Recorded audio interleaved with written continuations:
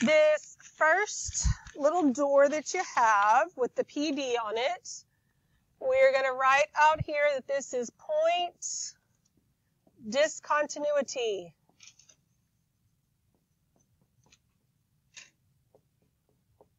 Point discontinuity. And then underneath that, we're going to write radi, R-A-T squared E-Y, because this is also kind of the title for the whole thing. PD radi, that's what it's called. Now, I have a, had a colleague that's uh, no longer here would call this Ratui, and it never made sense to me. It always sounded like the mouse, like ratatouille. I don't know where she was getting that from. Finally occurred to me, rat to E. Great, but I still just think radi is fine. And that's just an acronym that's going to help us make sure we have all of the information we need for our rationals. So nothing in this foldable should be brand new information. It's all stuff that we've already talked about together, and we're just kind of organizing it all in one thing, right? So if you open that little door, this is what you have inside your first little door here. And, oh, I lost mine. That's okay. I know what, oh, there we go. Um, so this is point discontinuity. We're just going to write it again.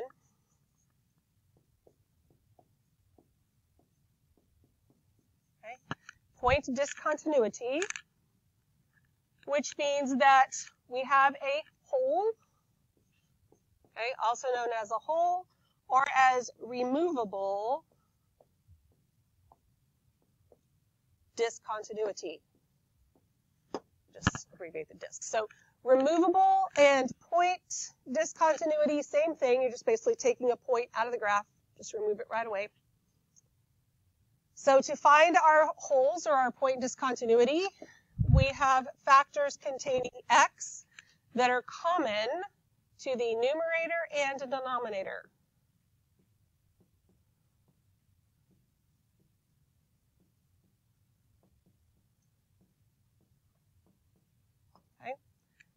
They are common to the numerator and denominator. That's why we get to cancel them out, right? Like I said, no brand new information here. We good with that? That's our point discontinuity.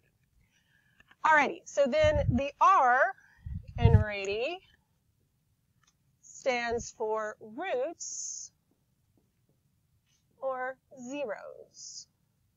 I guess we could have called it Zadie, but roots, zeros. We should know that those are the same thing. So when we open that little door up, roots are the x-intercepts.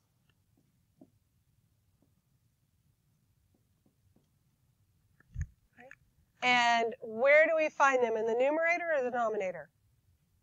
Numerator. They are the zeros of the numerator. So the zeros of the function itself comes from the zeros of the numerator? And do we do these before or after we reduce? They are found after reducing. You have to get rid of the possible holes first so that you're not using something that's incorrect. Okay? Everybody with me so far? We good? All right. So then we go to the A part here. The A would be asymptotes. And, but they're only the vertical ones for now.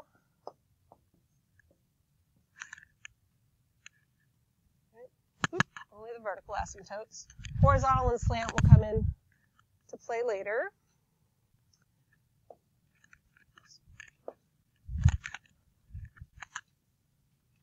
So if I have a vertical asymptote or more than one, then this is a unique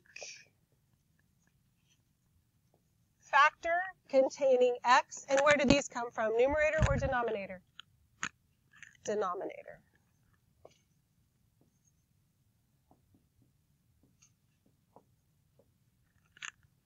Where's your phone supposed to be? Whose phone is that? Thank you very much. All right, unique, and it's unique. That means after we cancel it out, then it's still there. That's why it's unique to the denominator.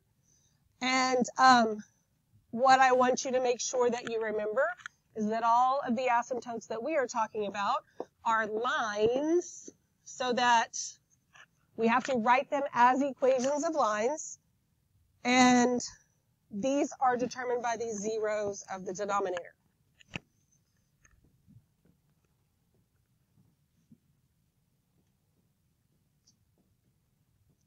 Zeros of the denominator. Everybody good so far? Questions? Again, not brand new information, right? All right, so then the t squared. This is two things, and those two things both start with t. Just put two things there.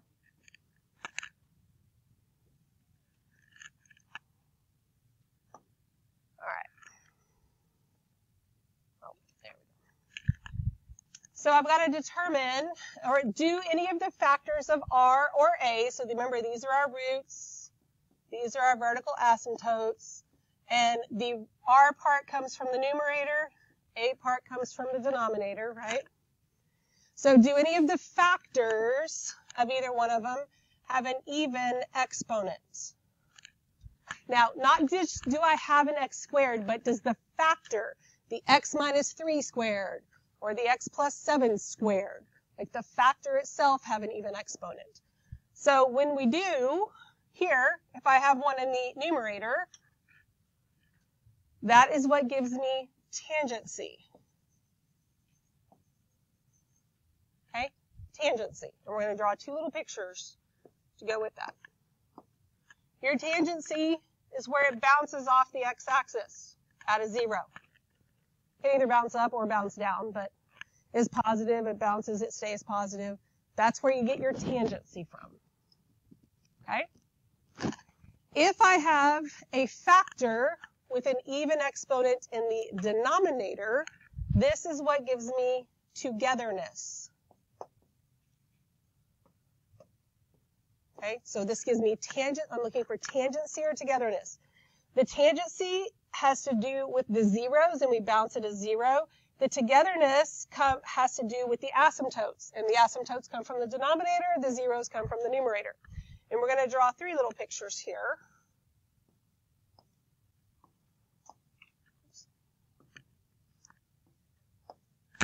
and then see, put in some asymptotes.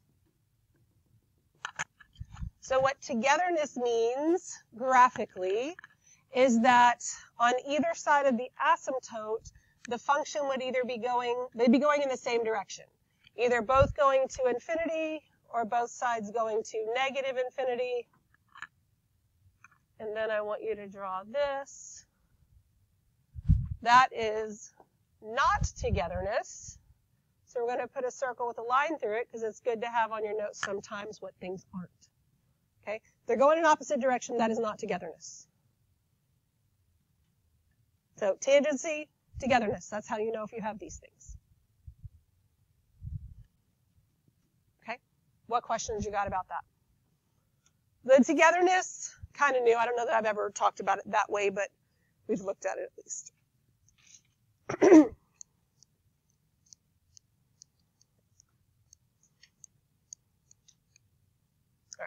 Good?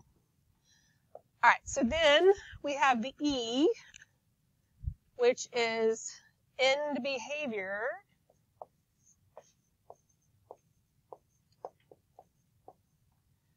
And we've looked at end behavior with limits. So basically the limit is x approaches infinity of f of x would equal something. And same for negative infinity, but it's way out at the ends, at the infinities. So this is where our other asymptotes come into play. Because vertical asymptotes have to do with middle behavior, but horizontal asymptotes, that is our end behavior. So, my horizontal asymptote, which we could label as HA for horizontal asymptote, we look at our function and ask ourselves if it's top heavy, bottom heavy, or tied in degree.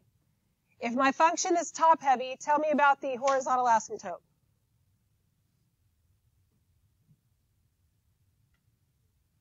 What? There isn't one, right? If it's top heavy, there's none. If it's bottom heavy, tell me about the asymptote. Y equals zero. Very good. I heard Y equals. It's a line. Y equals zero. Very good. And if they are tied in degree, what do you find? The ratio. Good. So tied in degree would be Y equals the ratio, and then I put in the rest for you so you don't have to write it all down, of the leading coefficients of the numerator and denominator. I guess I did leave out the word of the, of the numerator and denominator. Okay. Slant asymptote, we can say is SA. So if I'm, the, my function is top heavy, it opens the door for it to possibly be a slant asymptote, but I can only have a slant asymptote if the degree of the numerator is how much more? One. It is one more than the degree of the denominator. We divide and ignore the remainder. Or we don't have to officially divide. We can just look at the ratio of the, the leading terms and get a line that our slant asymptote will be parallel to. That at least tells us in behavior. Okay, and then we have other end behavior. So like what happens if it's more than one? If the degree of the numerator is more than, more than one higher than the denominator, it has polynomial end behavior. The truth is it has that even with this, that's what a slant asymptote is. But it's polynomial in behavior. This is how we got our, like our quadratic asymptote? And if I don't need to know exactly what the actual asymptote is, I just need to know what's happening with the end behavior. I just divide the leading terms. Divide leading terms to, to, fig to figure out what it is. So I can figure out if it's up, up, down, down, if they're opposite, whatever. This isn't something, the other end behavior isn't something you're going to be tested on. It's just something that I want you to know exists, and it's not all just about horizontal and slant asymptotes. Okay? What questions you got? We all good? All right, so then the last thing we have is this y, and that is for the y-intercept question. And that is singular because you can only have one y-intercept. If you have more than one y-intercept, then you are not a function. And we know that the y-intercept occurs when? When x equals 0, right? So that means I substitute 0 in for x and solve for y. Or if it's in function notation, I'm finding f of 0 or g of 0 or h of 0, whatever. And when you find that, it is written as an ordered pair.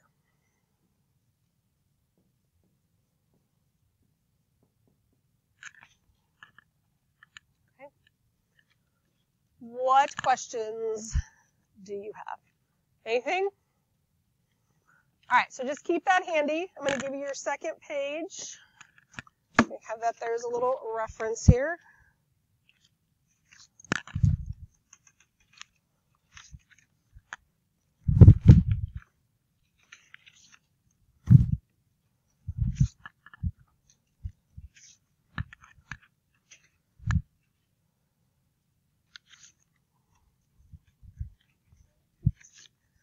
On the back of Rady, you can put that that is going on page 38.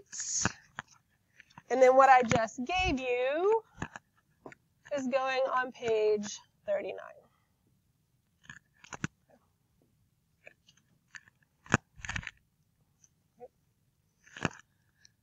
Okay, so this is equivalent representation. So we're going to see that we have an equation, we have a graph, we have words, just different ways we can represent the same function. So we are recalling once again. And it's wording like this that blows your little mind sometimes, but it can't because you're going to have wording like this and you can't just read it and go, I don't have a clue. You've got to make some sense of it. So we're going to let h of x equal f of x over g of x, which means I have a rational function. Then it says if g of c equals 0, so if the denominator equals 0, when I substitute in some number, like for instance, if it said g of 5 equals 0, c is just a number, if that's the case, then the function overall has a vertical asymptote or a hole at x equals c. So if g of 5 equals 0, then I either have a vertical asymptote or a hole at x equals 5. That's all it's saying. Okay, and sometimes those words in a question are important because it's trying to get you to understand what you're supposed to be doing there. All right, let's look at example one. so I have this function. Says I'm going to write, the, write an equation for h of x in factored form and find any x values where we have a hole or a vertical asymptote. Okay, so I need to factor this. When I factor the numerator, that factors into what? Good, x plus 2, x minus 2. Then in the denominator, 10 is positive, so the signs are the same. 7 is positive, so it's plus plus. What are my numbers? 5 and 2. So you need to be able to factor accurately and efficiently like that. Just be able to, you don't have time forever to factor. All right. And so do I have a hole anywhere? Yes, because I can cancel this out, which means I have a hole at x equals what? Negative 2. Okay, and it only asks me for the x value here, so I'm good. Then my reduced function would be x minus 2 over x plus 5. So then I have a one vertical asymptote at x equals what? Negative 5. Then we are asked to find the domain from this same example. So the domain of a rational, it is all real numbers except for anywhere you have a vertical asymptote or a hole. So if I know these two things, I don't actually need to look at a function. I don't need to look at a graph. I can write it from this. I know I started negative infinity. I get to use all of the x values till I come up on negative 5. I don't get to actually make it to negative 5 because there's a vertical asymptote there, so I got to skip over him. Then I'm on the other side of that asymptote. I can use everything from negative 5 until I come upon negative 2. I can't use negative 2 because there's a hole there, but I can get real I can get right up to it. I got to skip over him, and then I can go from negative 2 to infinity. So if I have two of these total, right, man, because I could have multiple asymptotes, I could have multiple holes, but overall I have two things that are going to mess it up. I need two of these little union signs, and then I'm just skipping right over those things. Easy enough? We good? That's how you find your domain. All right, let's look at example three. So I have, tells me I'm going to write an equation so write an equation for k of x in factored form. So k of x equals numerator, we're going to factor into x plus 3 times x minus 4. And the denominator, I can factor out an x. You can't forget this guy that you just factored out. And then this would give me x plus 5 times x minus 4. Then we're going to write down PD radii so we can make sure that we find all of this stuff that we know we can find because in the end here we're going to have to graph this. And we need all of that information to make sure our graph is as accurate as we can get it. So the first thing it asks me for are any zeros, but is that really the first thing I look for? No. First thing I look for is the holes, right? And this is where this asks me for this. So this is PD right here. So I can mark this off.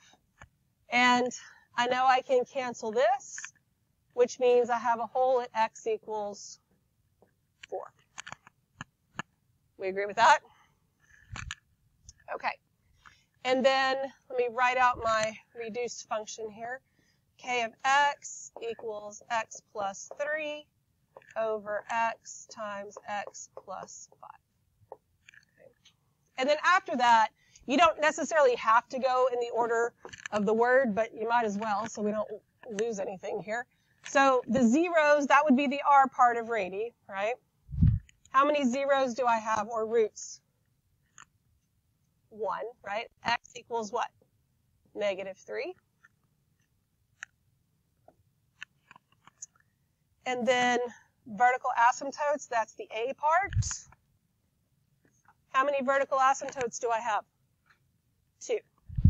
So I've got x equals 0, don't forget about him, and x equals negative 5. Then horizontal asymptotes, that's going to be related to my end behavior, right? So do I have a horizontal asymptote? And what would it be? At y equals what? Zero. Good, because it is bottom heavy. So this is at y equals zero. Then I need to find the domain. So remember, the domain, when I'm doing this, I'm looking at the, um, the holes and the vertical asymptotes, because those are what the, that, those are what x cannot be.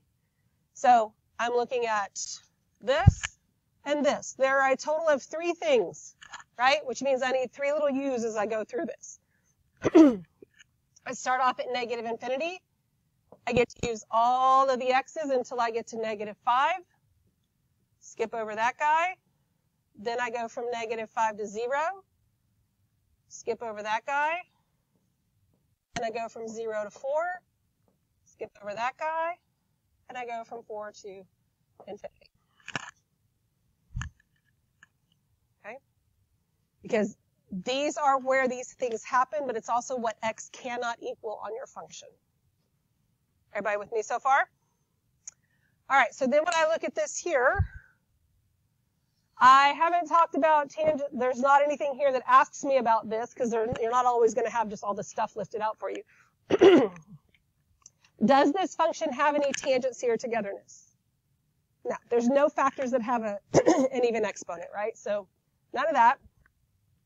Y-intercept, that would be k of 0. k of 0 would be 3 over 0 times 5. What does that give me? 3 over 0, which is undefined. yeah, it's not 0, it's undefined. so I don't even have one. All right, so now I want to try and graph this stuff. Well, if I want to try and graph it, even though it only asked me for the x value of the hole, I really need to know what the y value is too so that I can plot the point. So the way I find the y value for the hole is to evaluate the x value in the reduced function here. So this would be 4 plus 3 over 4 times 4 plus 5. 4 plus 3 is 7. That would be 9 times 4, which is 36. And then I cannot reduce that. Right. So my ordered pair is 4 and 736. Now, in order for me to graph it, I really kind of need to know like an estimate of that. If that was 7 over 35, wouldn't it reduce to 1 fifth? So it's about 1 fifth which is probably the best we need on a little tiny graph like this. We can't get that accurate anyway. But at least you know it's not at 3 or at 5 or something like that. So we're going to plot these things.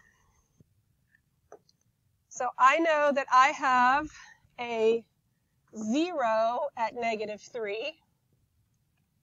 And I know I have a hole at, what was it, 4, 4 and about a fifth. One, two, three, four. Okay, mine's more of an oval, but otherwise you can't tell that I made a hole. All right, then I also know that I have asymptotes. I have a vertical asymptote at negative 5. And I have one at 0. And I have a horizontal asymptote at y equals 0. And that horizontal asymptote goes right through that 0 at negative 3 which is fine. We can cross a horizontal asymptote. We cannot cross a vertical asymptote. Okay, now that's really all I have.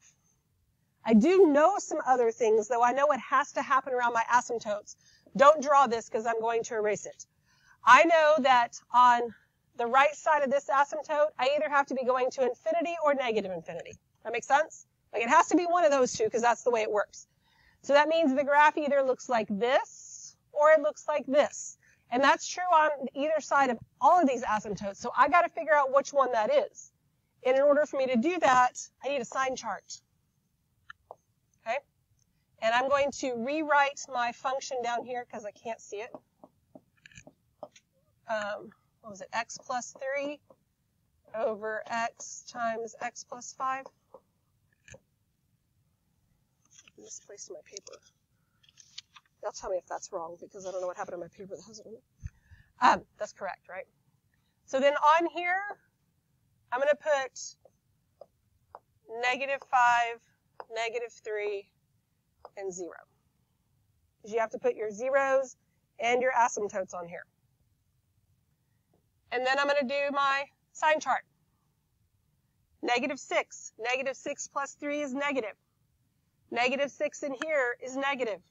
Negative 6 plus 5 is negative. I have three x's. I should have three little signs here. So that is negative overall. If I put in negative 4, that would be negative, negative, positive, which is positive overall.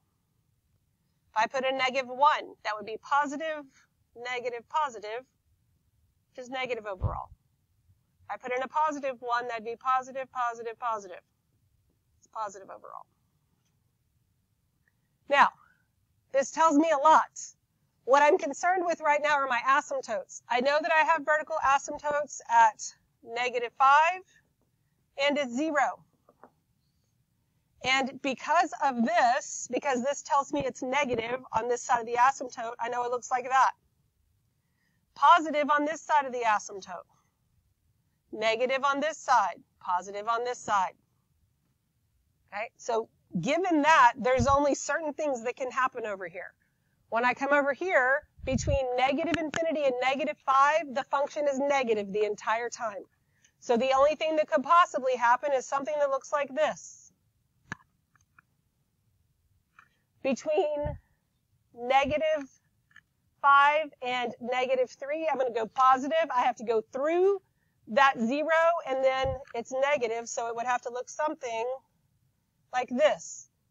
That's the only thing it could possibly do because of the way things work with asymptotes. Then from zero to infinity, the function is positive the entire time. It has to hug this asymptote, has to come over here, go through that hole, and look something like that. And there's your graph. Okay?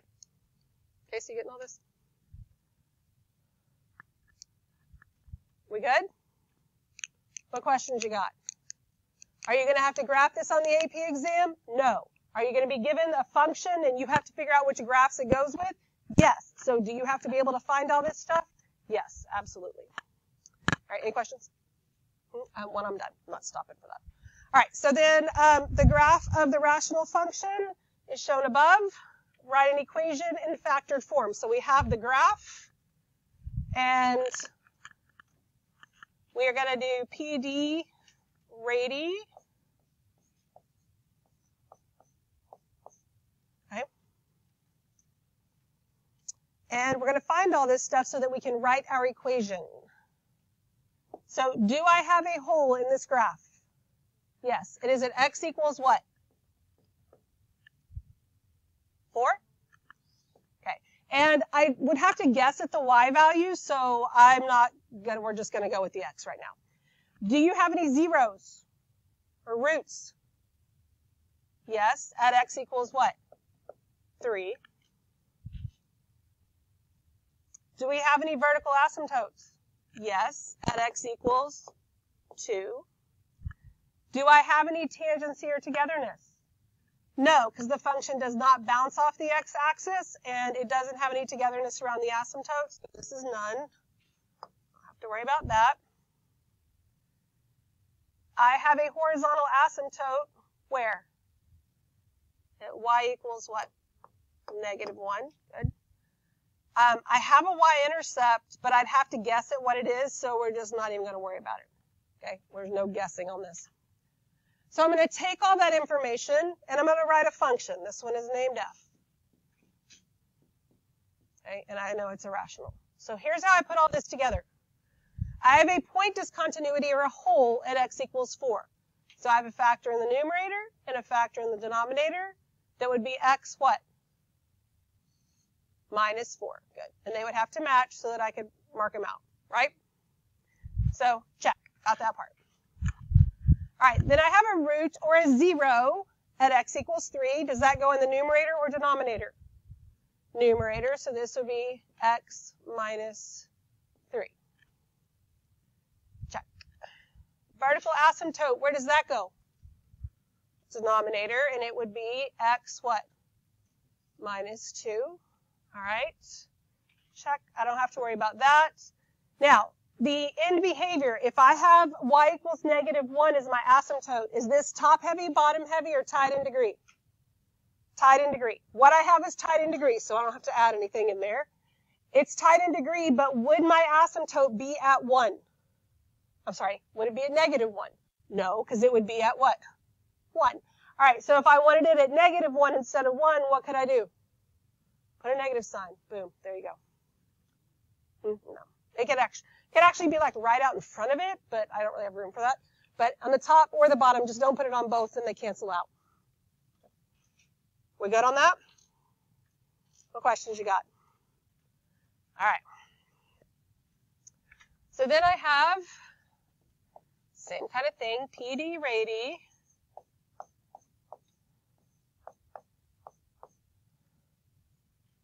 So let's come up with this. Do I have any holes? Yes, at x equals what? 2. All right. Do I have any roots or zeros? Yes, at x equals 1. How many vertical asymptotes do I have? 2. What's the first one?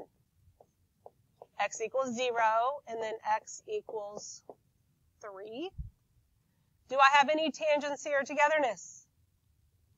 No, it does not bounce off the axis, and they don't go in the same direction on either side of an asymptote. Where's my horizontal asymptote at y equals what? Zero. And do I have a y-intercept? No, there's none there. All right, so I'm going to give you a minute. I want you to write an equation for g of x.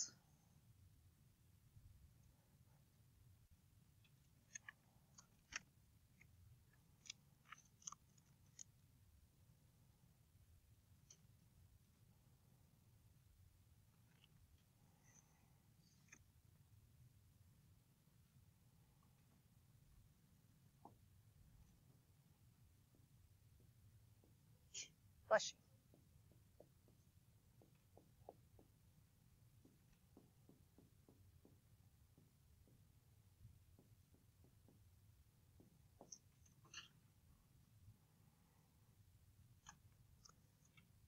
Okay, this one's a little bit more straightforward, right? I got x minus 2 over x minus 2. That gives me the hole. Here's my 0, and here are my two asymptotes. That in behavior, y equals 0, that means my function has to be bottom heavy. This one's bottom heavy, so I'm good.